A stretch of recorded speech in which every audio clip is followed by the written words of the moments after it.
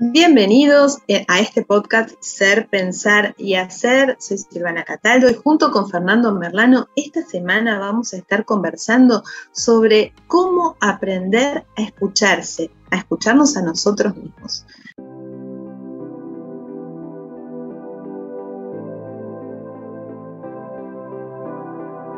Estimadísimos, estimadísimas, bienvenidos a este nuevo episodio del podcast Ser, Pensar y Hacer. El día de hoy vamos a estar hablando de cosas muy interesantes. Mi nombre es Fernando Merlano, estoy junto a Silvana Cataldo. ¿Cómo estás, Sil?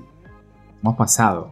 Muy bien, muy bien, Fernando, muy bien. Buena semana para todos. Bueno, y el tema de hoy se desprende un poco de lo que estuvimos hablando la semana pasada, ¿no? Claro, es un tema que nos quedó ahí como dando vueltas porque nos hicieron muchas preguntas en redes sociales. Incluso mucha gente se acercó porque nos está pasando esto de que por ahí tenemos eh, muchas views y hasta los vecinos nos preguntan, oye, este tema, ¿por qué estabas hablando de esto? ¿Por qué estabas hablando de esto otro? Y, y como que nos quedamos pensando en eso, ¿no? Entonces se llama es un podcast transmedia, porque después continúa en el ascensor, continúa en los puntos donde uno se va encontrando con otras personas. Totalmente. Bueno, pero ¿qué nos había quedado pendiente de conversar?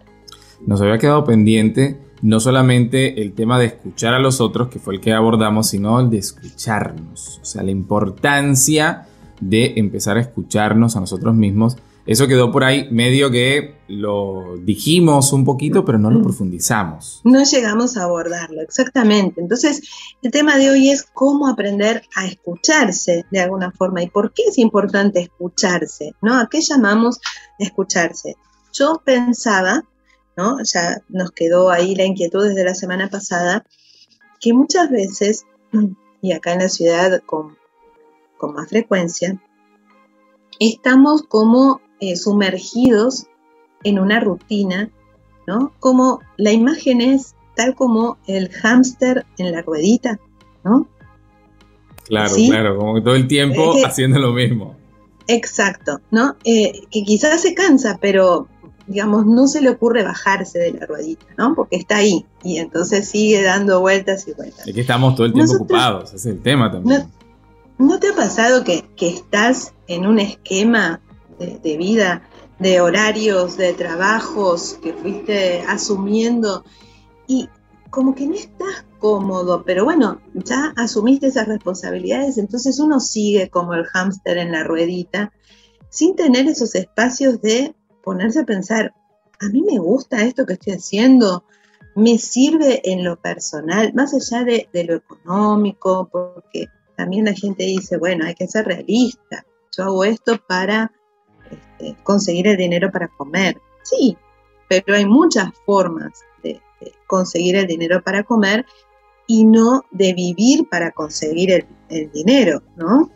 Claro, como de poder uno tener un poquito de salud mental, porque no todos los trabajos se ofrecen en la misma o las mismas cosas bonitas para uno hacer o no es el sueño que uno ha tenido en la vida, pero como estás tan ocupado, estás todo el tiempo como tan metido en que tengo que producir, en que tengo que tener esto, que tengo que comprarme las últimas zapatillas porque son importantes para mi estatus, que tengo que viajar en vacaciones siempre, que no puedo salir eh, sino a tal restaurante, no puedo tener una cena o un almuerzo o un picnic porque no que ir a la gente. Entonces siempre esta, este ruido que nos queda en la cabeza, como que estas obligaciones, tapan esa felicidad de escucharnos, esa fortaleza que podríamos tener de realmente esto es lo que me gusta, que creo que es lo que estás planteando.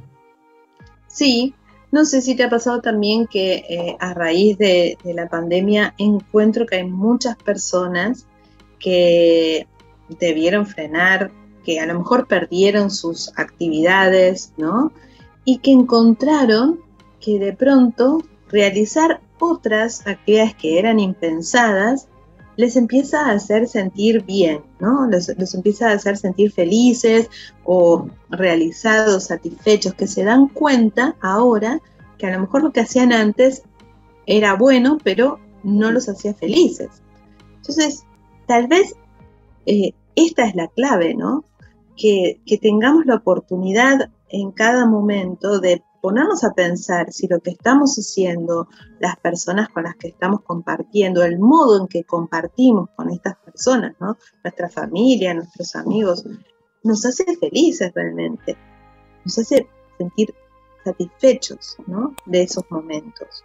Claro, porque si no es como la gente que está en un concierto, que lo vemos un montón, y está frente a la persona que tanto le gusta como canta, con las ideas que quiere, que, le parece una persona genial y está cantando y está efusivo, pero desea retratar el momento para no perdérselo, ¿no? El, miedo a perderme algo.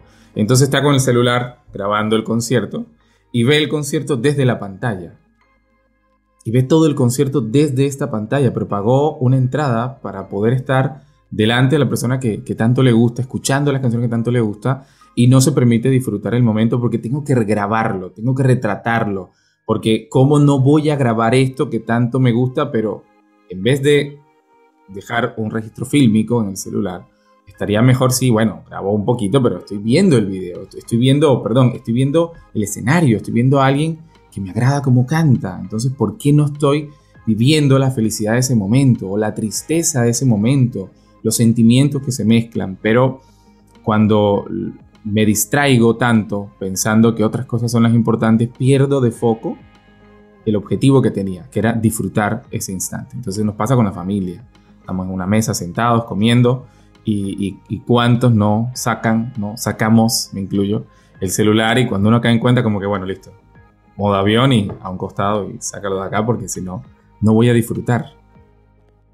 Exacto. Bueno, esto que estás diciendo me hace pensar Em, que muchas veces eh, este no escucharse tiene que ver con estar siempre con nuestra mente en lo que vendrá, ¿no? Organizando eh, lo que tengo que conseguir a futuro, sin tener en cuenta que lo que tengo es este instante. Realmente lo único que tenemos es este instante y que me lo estoy perdiendo. Totalmente. Me lo estoy perdiendo, ¿no? Y que además eso es como muy ansioso, sí, es como, como que la gente quiere controlar todo, incluso lo que no ha pasado, lo que no ha ocurrido, pero también este instante. Entonces cuando uno está y no está, se pierde las cosas bonitas de la vida. Es como una persona que todo el tiempo esté pensando que el futuro va a ser peor, que no pudo hacer cosas en este momento porque la pandemia no se lo permitió, porque tuvo que cambiar de rubro, porque qué mal todo lo de la pandemia. Pero si te quedas en ese pasado, no disfrutas lo bonito que nos dejó la pandemia. También trajo cosas buenas, o sea, nosotros dimos el salto a este escenario virtual porque vimos la necesidad de repensar nuestra práctica y de poder acompañar a las personas que queremos y a toda la gente que nos ve de otra manera. No, no fue una locura nuestra. Bueno, buen planteo ese, me parece interesante cómo dejarlo así. Si pudiéramos ir poniendo como cartelitos, ¿no? De cosas para, para compartir y pensar de manera compartida con quienes nos escuchan. Una sería eh, la pandemia también nos trajo oportunidades, que cada uno pueda buscar ¿no? en su realidad las oportunidades que sí tuvo a partir de esta situación novedosa, porque fue una situación novedosa para todos, entonces, algo nuevo, ¿sí? Nos debe haber traído acercamiento a, nuestra familia, oportunidades de conversar cosas que no teníamos antes, algo, algo nuevo, así sea plantar. Yo te cuento, por ejemplo, tengo una plantita de albahaca que me creció ah, finalmente. Soy muy feliz con eso. nunca había conseguido que me crezca la albahaca, pero es que requiere cuidado y he tenido el tiempo de, de atenderla y tengo una plantita de albahaca. O sea, así sea una cosa tan pequeña como esa, claro. digamos, todos tenemos seguramente algo nuevo, una oportunidad que se nos abrió a partir de este escenario novedoso, tan, tan solo porque fue novedoso, ¿no? Y nos invitó a pensar desde otro lugar. Entonces, eso sería como, como un cartelito para pensar. Para pensarlo. Me imagino también esta posibilidad de estar en soledad. O sea, en soledad a pesar de estar con gente. A ver, voy a, plantear esto de manera distinta. Todo el tiempo queríamos estar conectados, ¿no? Todo el tiempo yo tenía que salir de, no sé, de mi sitio de trabajo, llegar, mandar un correo electrónico, mandar un WhatsApp, estoy yendo, estoy haciendo tal cosa. Todo el tiempo tenía que estar muy conectado a que el otro supiera qué es lo que estoy haciendo en el trabajo, en la familia, ¿no? Como que uno siempre necesitaba eso pero la pandemia nos hizo parar. Unos pararon más que otros, dependiendo del rubro, otros se vieron obligados a detenerse y llegó el momento de la soledad. La soledad que no se llena con un episodio de Netflix, que no se llena con una película, que no se llena leyendo un libro, sino ese encuentro conmigo mismo. Pero eso es terrorífico para mucha gente. Muy terrorífico porque se enfrentan, por ejemplo, a escuchar que se sienten tristes, que se sienten desolados, o que a lo mejor esto que estaban haciendo antes no les gustaba tanto. Entonces esa idea los asusta. Pero la pandemia te obligó a estar en soledad. O sea, yo, no sé, le pasaba a muchas personas que de pronto llegaban una tarde y, ¿qué hago? No hay nada para ver, no me interesa ver, ¿por qué no me quedo un ratito y me tomo un mate, me lo cebo yo mismo a mí? O, o, lo comparto en familia, pero no es necesario estar hablando. Porque ese es el otro error. O sea, la gente piensa que escucharnos o escuchar al otro es el acto específico de hablar.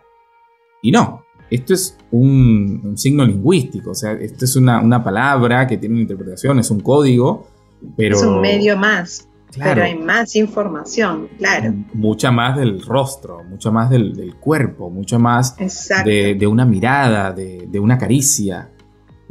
si fuera solamente por hablar, ¿cómo nos entenderían los bebés? Los bebés entienden es el lenguaje del amor, si, si, me pongo más romántico, ¿no? De, la caricia, de la mirada, del tono de la voz, de la vibración de la cavidad torácica cuando la madre lo tiene a UPA y le dice que lo ama, o el papá lo está cambiando o lo está también eh, acicalando y le dice que lo quiere. O sea, eso es lo que entienden los bebés y eso es lo que nosotros muy prosaicamente también entendemos y también nos gusta y también deseamos que alguien nos hable de esa manera, pero se nos olvida porque estamos muy eh, de afán, muy, perdón, acá no se entiende bien esa palabra, de carrera, de prisa, y, creemos que el amor solamente se demuestra, quizás te dejé el desayuno y me voy porque no lo pude compartir contigo.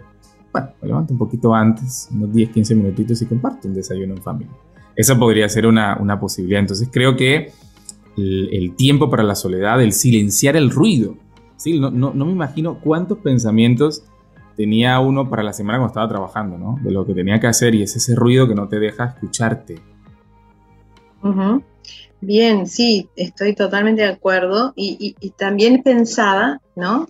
Eh, ¿Qué es exactamente este, encuentro con, uno mismo, ¿no? Esta, invitación a estar solo, eh, es también un, eh, ejercicio de autoconocimiento, ¿no? Cuando uno tiene, de pronto, se encontró con la necesidad de, estar solo, a muchas personas que no tenían este ejercicio les produjo mucha incomodidad, ¿no? Entonces, como que esto de, cada, no sé, cada tanto, ¿no? Tener este ejercicio de parar, reflexionar si estas cosas que, estamos haciendo, estos compromisos que uno va asumiendo, eh, nos, hacen sentir bien, nos hacen sentir, felices o los querríamos eh, transformar de alguna manera, eh, siempre pensando también que uno no es siempre igual, ¿no? que uno también está en transformación y que algo que me hacía muy feliz en un momento de mi vida puede ser que en otro ya no me haga, digamos, lo hago por costumbre, pero ya no me completa, ya no me, no me hace sentir igual de bien. Entonces, este ejercicio también me permite ir viendo mis cambios, ¿no? Mis cambios como persona, mi maduración. Es, como bastante raro que alguien se pueda mantener eh, en el mismo sitio de la misma manera, no sé, por, tres décadas y que no haya cambiado nada. Muy poco adaptativo. Claro, es raro, exacto, sin cambiar nada. algo, algo de falta de autoconocimiento ahí este, posiblemente esté pasando, ¿no? Falta de registro, que hay mucha gente que te dice eso, te falta registro, te falta registrar tal cosa, te falta, te falta registrar tal otra, pero mm, no te das esa oportunidad de registrarte tú, de analizarte tú, pero que vuelvo a, volvemos a lo mismo.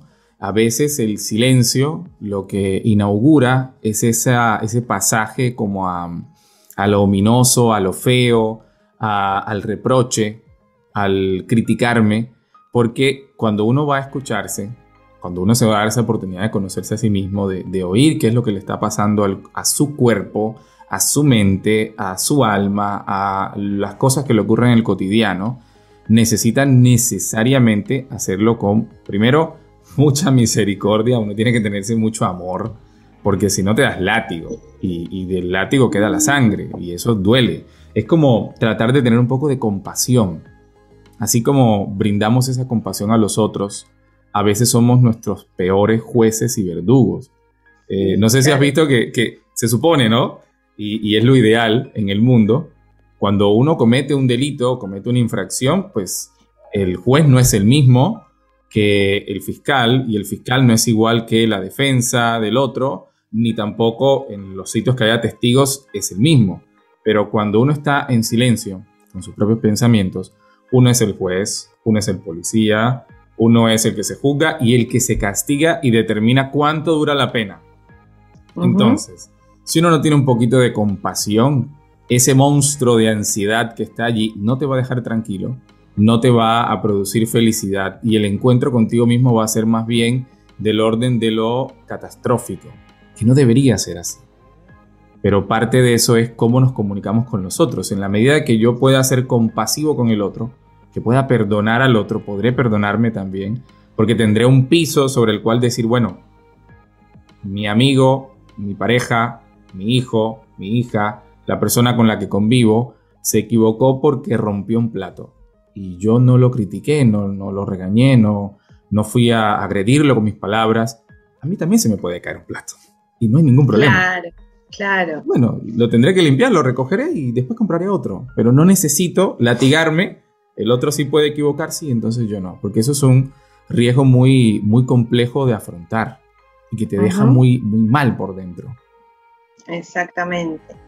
Bueno, si tuviéramos que hacer algunas recomendaciones para el que nunca a lo mejor pensó esto, ¿no? De, hacer un encuentro consigo mismo. Eh, personalmente creo que, buscar, más allá de, la situación que nos tocó, eh, obligados a estar solos.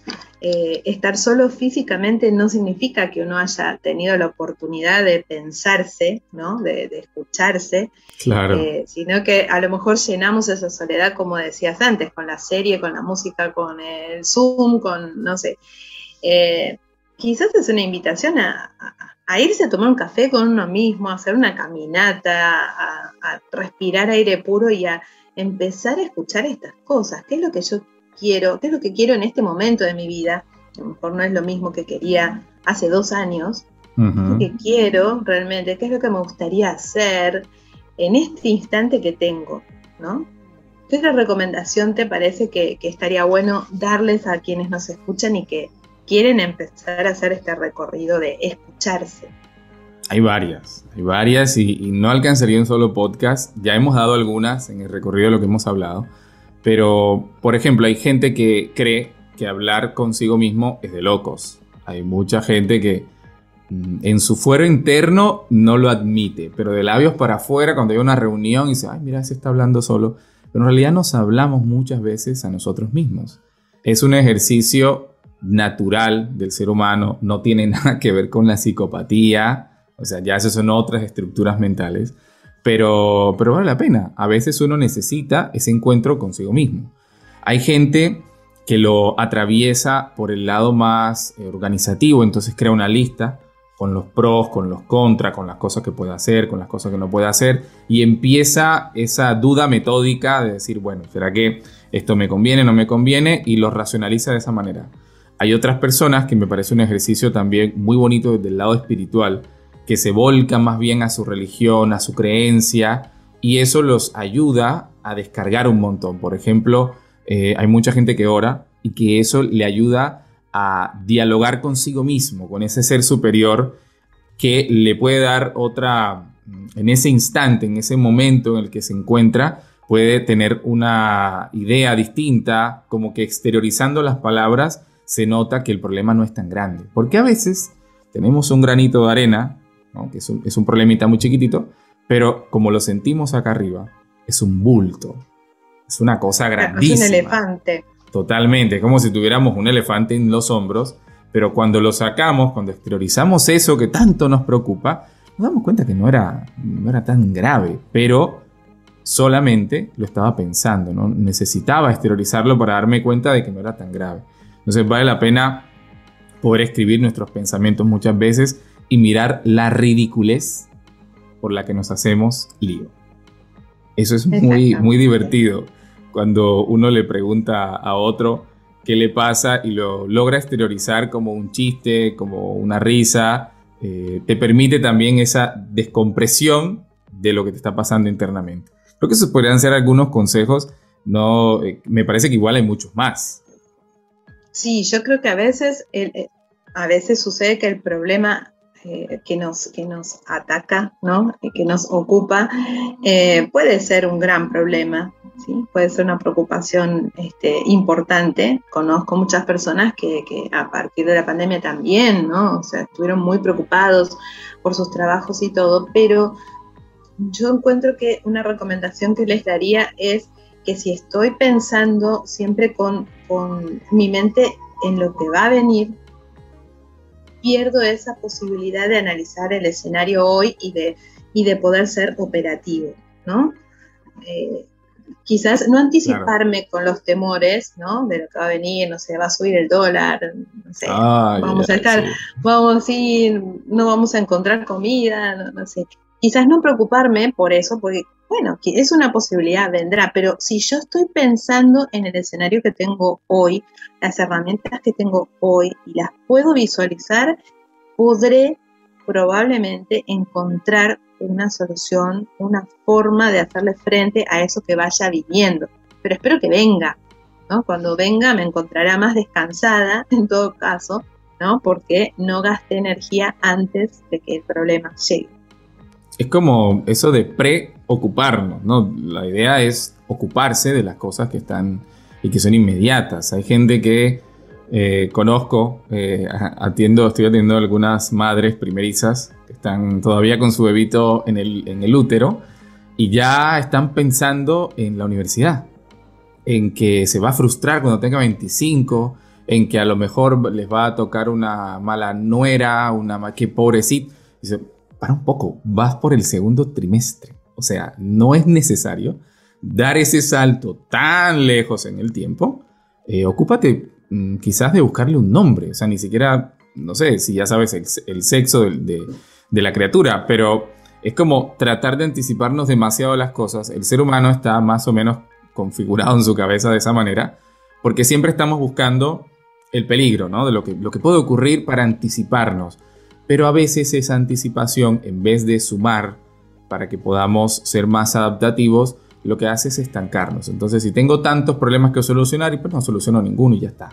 Lo procrastino, lo voy pateando estresarnos, y, y de alguna forma este, nos perturba y no, no, no, nos ayuda a solucionar nada.